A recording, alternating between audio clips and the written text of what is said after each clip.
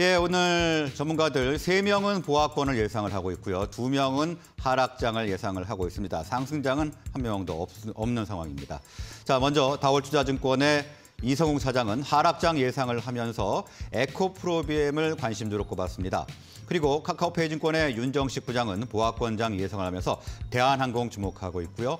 AJ 인베스트먼트의 이재규 대표는 보합권장 예상을 하면서 SK 하이닉스 관심주로 꼽았습니다.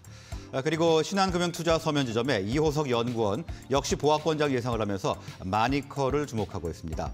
비전경제연구소의 김태성 팀장은 하락장 예상을 하면서 파미세를 관심주로 꼽았습니다. 자, 그러면 두 분과 화상으로 이야기 나눠보도록 하겠습니다. 아, 다월투자증권의 이성웅 사장, 카카오페이 증권의 윤정식 부장 연결돼 있습니다. 자, 두 분 나와 계십니까? 네, 안녕하세요. 네, 안녕하십니까. 자, 먼저 이성웅 사장님. 아, 금리 인상의 공포가 좀 여전한 것 같습니다. 오늘 어떤 전략 준비를 좀 해야 될까요? 네, 우선 뭐, 뭐 지겨운 이슈이긴 하지만 이 giant step 가능성이 좀 낮아지면서 일시적으로 반등이 성공한 게뭐 지난주에 좀 있었는데 어, 하지만 이제 연준이 좀 더욱 강화된 어떤 긴축을 내포하면서 이 자이언트 스텝에 대한 어떤 이런 상황이 이번 주 초에도 악재로 작용할 가능성이 크다. 라고 좀 판단되고 있고요.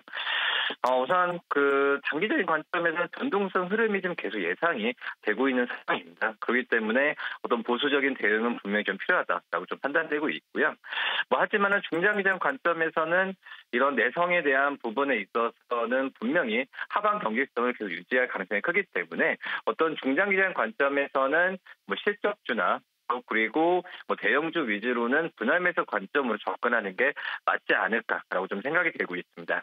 어, 우선 그 CPI 뭐 발표했던 증시기 때문에 뭐 이 전후로 봤을 때는 또 다시 한번 어떤 방향성은 없을 거다라고 좀 생각이 되고 있고요.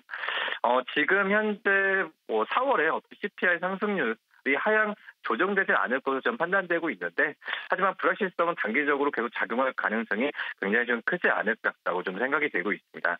그러니까 섣부른 어떤 투자 결정보다도 이 보수적인 대응은 분명히 맞다라고 좀 생각이 되고 있고요.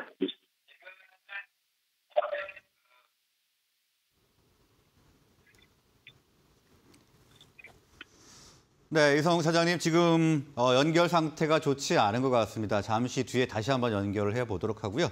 자, 다음은 어, 윤정식 부장님. 자, 지금 투자 심리가 상당히 위축된 것으로 지금 보입니다. 어떤 전략을 준비해야 될까요? 네, 우선 미국 시장은 뭐 중립에 가까운 그런 모습이었는데 국내 시장 같은 경우는 소폭 하락으로 시작을 해서 낙폭을 조금 더 줄여가는 뭐 약보합이든지 강보합이든지 약간 중립에 가까운 그런 시장이 될 가능성이 좀 높아 보입니다. 국내 시장도 미국 시장만 놓고 보면 소폭 하락의 가능성이 높지만 국내 시장은 2650이라는 그 지지선을 상당히 좀 잘 지키려는 복원력을 가지고 있습니다. 뭐 그렇기 때문에 이런 모습들이 금일 같은 경우도 나올 가능성이 높다라고 보여지고요. 전체적으로는 valuation이 좀 높은 종목들은 당분간 뭐 굉장히 좀 주의를 해야 될 것 같습니다. 미국에서 뭐 giant step에 대한 움직임이 조금 수, 뭐 수그러든다고 하더라도 지금 시장은 계속적으로 좀 보수적일 수밖에 없고요. 시장의 자금은 빠른 속도로 말라갈 가능성이 높습니다. 그렇기 때문에 valuation 높은 종목보다는 철저하게 좀 실적 위주의 이런 대응을 하셔야 될 것 같고요. 1분기 실적이 좋았다고 하더라도 이제는 1분기 실적만 보면 안 됩니다. 1분기 실적 좋았다고 하더라도 이제 좀 더 중요한 건 1분기 실적 발표보다 향후에 대한 전망치입니다. 2분기 혹은 하반기로 갈수록 실적이 확실하게 좋아지는 이런 종목들 아니면 1분기 좋았는데 뭐 2분기도 상당히 좀 좋다 이 정도까지는 적어도 이 성립이 되어야지만 지금 주가가 반응할 수 있는 그런 상황이거든요. 그렇기 때문에 지금 시장은 좀 보수적인 시장이다라는 부분들 전제적으로 깔고요. 그리고 여기에서 급락할 가능성도 좀 낮습니다. 그렇게 본다라면 지금 시장 안에서 확실하게 좀 철저한 종목 대응 필요한 시장이고 이 종목에 대한 선정은 실적에 대한 전망치가 좋은 그런 종목들로 하셔야 될 것 같습니다. 지금 시장이 뭐 삼성전자랑 SK 하이닉스 바닥권은 맞는데요.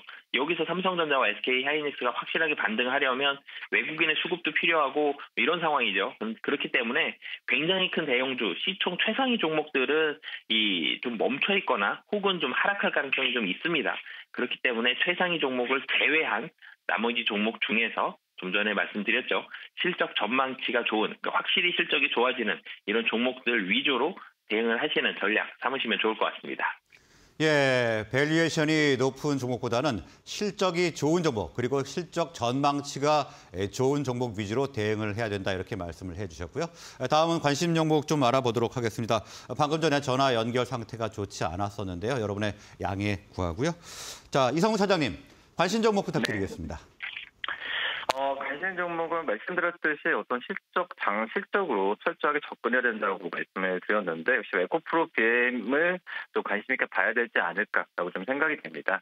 우선 뭐 실적 으로만 봤을 때도 에코프로 BM이 목표 주가 상향이나 또 2분기 실적 추정치가 1분기 실적 나온 이후에도 본다고 하면은 어, 다른 종목들에 대비해서 눈에 띄게 좀 나타나는 현재 상황이라고 좀 볼 수 있겠고요.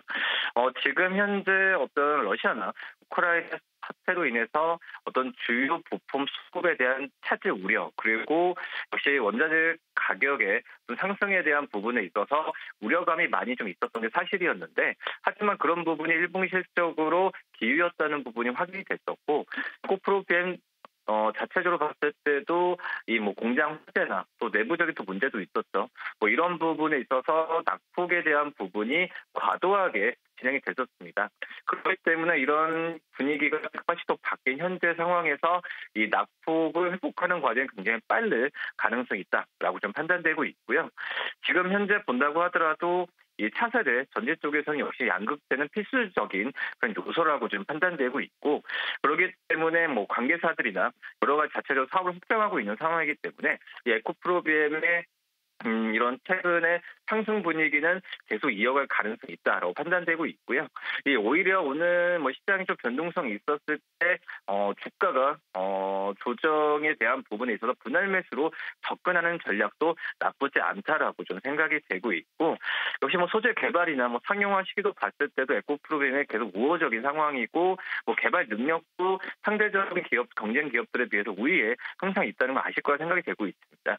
그렇기 때문에 종목별로 접근하는 어, 종목 차별 전략 당시에서는 에코 프로그램을 계속, 계속 관심 있게 봐야 되는 게 맞지 않을까 이렇게 좀 판단되고 있습니다. 네, 관심 종목으로 에코 프로비엠 분석을 해주셨는데요. 최근에 상승 분위기가 계속 이어질 것으로 예상을 해주셨습니다. 다음은 윤정식 부장님 관심주 부탁드리겠습니다. 네, 대한항공 좀 말씀을 드리겠는데요. 이 항공주 대한항공 1분기 실적 굉장히 좋았습니다. earning surprise 기록을 하면서 좋은 실적이 있었는데요. 실적 발표 이후에 주가 좀 횡보하다가 하락을 했죠. 이 reopening 관련 종목들이 대체적으로 분위기가 좀 쉬어가는 분위기가 있었는데 이제는 좀 달라진 상황이다라고 보시면 되겠습니다.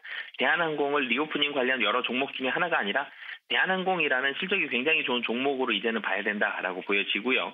이 1분기가 화물이 비수기였습니다. 그럼에도 불구하고 이 지난 4분기 대비해서 화물 운임 이 7% 이상 상승했고요.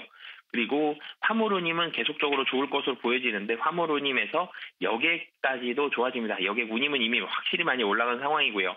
여객 수요 이 3월 대비 4월 달 여객 수에 비해 여객 수요는 비슷합니다. 근데 미주 노선이 올라가고 있죠. 확실하게 미주 노선부터 올라가는 게 여객인데 여객 쪽에 있어서의 움직임, 살아나는 움직임이 포착된 상황이고요.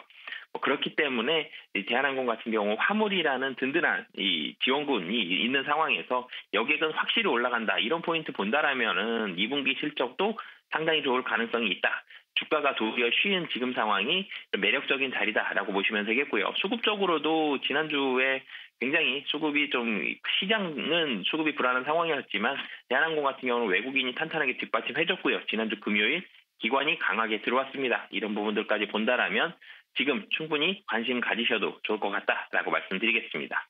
네, 대한항공 분석을 해주셨는데요. 1분기 실적도 굉장히 좋았는데 2분기 실적 더 좋아질 가능성이 있다. 이렇게 분석을 해주셨습니다. 자, 오늘 말씀은 여기서 마무리하겠습니다. 고맙습니다.